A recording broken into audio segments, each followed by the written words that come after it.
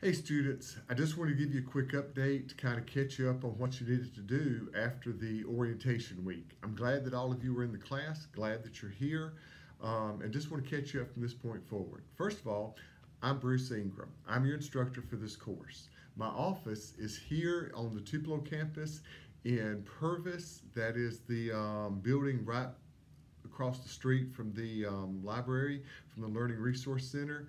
And so you're welcome to drop by anytime. If you need some help, let me know and I'll be glad to help you. Now, what do you need to do this week? First of all, make sure that you do the discussion board and the quiz. For some of you who are used to online classes, this is no problem. You know how to do the discussion board and the quizzes. Make sure you post by Thursday as well as reply to at least two other students. Now, don't reply, good job. That's not quite enough. You also need to explain why they did a good job. Or the best thing to do is to ask questions. Ask them what they thought. How did they see it? What's their perspective? And then they should respond back to your question. If you do that, you can earn full credit do real well. Also, let me give you some reminders. Print the calendar.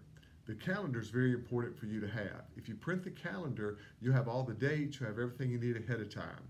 The modules are one week modules. So you've got a week to do the work in there, usually from Monday to, to Sunday night. Okay, so make sure you get those done.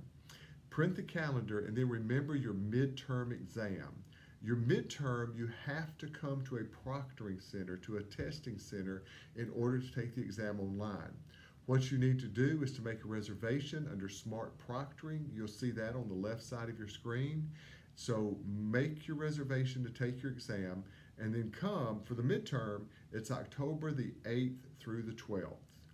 Remember those things and you'll do well in class. If you ever have any question, let me know. I'm here to help. Okay? I'm Bruce Ingram and somebody asked me when I started matching my facial hair with my shirt. Kinds work out that way the older you get. Good to have you in class. I hope you enjoy it. If I can help you, please let me know.